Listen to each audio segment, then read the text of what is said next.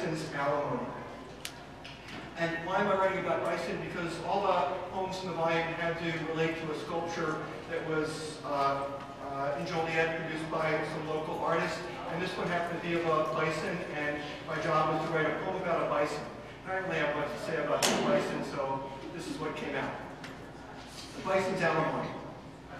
The bison know a lot about Longfellow and wisteria and patrimony, the piscine nuance of the clouds, God's topological integument.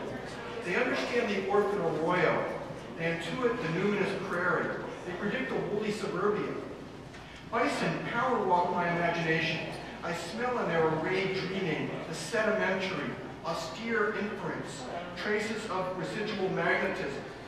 Under the nettled knot of August sunshine, in the shadow of a red face of the future, alongside the maternal mystery of the unused river, the bison make their summary judgments.